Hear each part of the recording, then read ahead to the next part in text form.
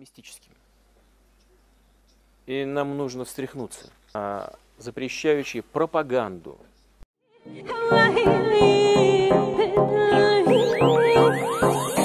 Hey.